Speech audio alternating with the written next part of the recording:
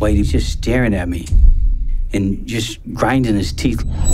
He said, I'll kill you. I'll stab you and then I'll kill you. I'm like, holy Jesus.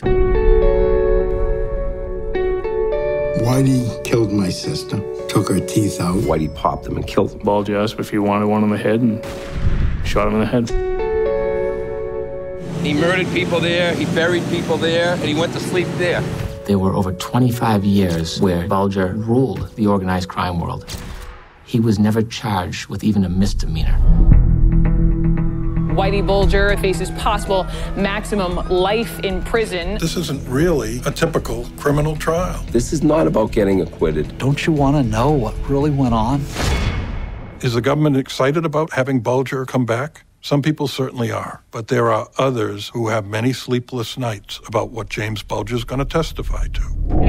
I asked the questions, I got the answers for money. I had contacts in the state police, the Boston police, also in the FBI. The very office that is currently prosecuting Whitey Bulger had some kind of corrupt relationship with Whitey Bulger. The federal government is so desperate to try to convince people that he's an informant. Where's the Boston police? Where's the FBI? He realized I get a blank check. I can do anything I want.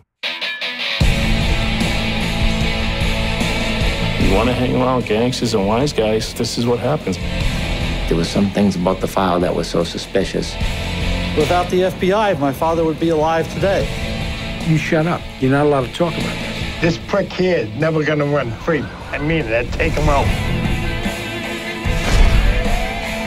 When he was captured, he came out of the elevator and faced law enforcement with their guns drawn, and they were screaming at him, get down on your knees, get down on your knees. Whitey Bulger's not going to get down on his knees for anybody. Whitey Bulger is a vicious murderer, but he was enabled by the FBI.